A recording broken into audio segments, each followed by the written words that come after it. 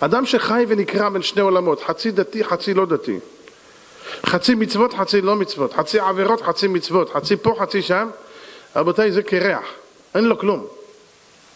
הגמרא אומרת, היה פעם, איזה חכם אחד היה יושב, רצה לדבר עם התלמידים שלו ללמוד איתם, הגמרא בבבא קמא מספרת את זה, היה יושב עם התלמידים שלו ללמוד. אז אמר להם, במה אתם רוצים שאני אלמד אתכם, בדברי אגדה או בדברי הלכה? כולם רוצים אגדה, סיפורים, מעשיות, משלים. אחד אמר אגדה, שני אמר, מה פתאום, הלכה? אמר להם, אמשול לכם משל למה הדבר דומה. אתה אומר אגדה, אתה אומר הלכה. אמשול לכם משל למה הדבר דומה. לאדם אחד שהיה נשוי שתי נשים, הקדוש ברוך הוא יעזור. שתי נשים, אם אחד בקושי מסתדר, שתיים,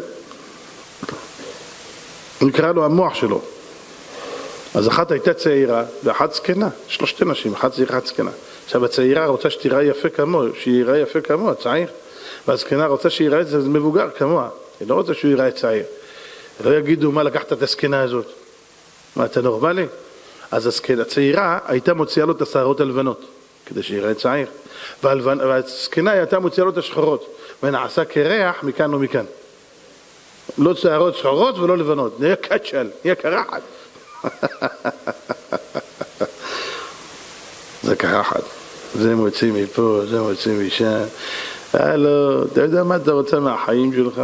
רבותיי, אתה הולך על משהו, תלך עליו עד הסוף, תלמד אותו.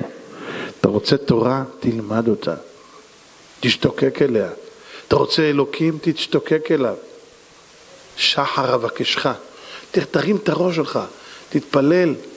שיוויתי אדוני לנגדי תמיד כי ממני בא למות. אני רוצה אותך, ריבונו של עולם, אני אוהב אותך. תן בליבי אהבתך ויראתך, דבר איתו כאשר ידבר בן לאביו, עבד אל אדוניו. תתחנן, אני רוצה ללמוד אותך, אני רוצה להכיר אותך, אני רוצה להתקרב אליך.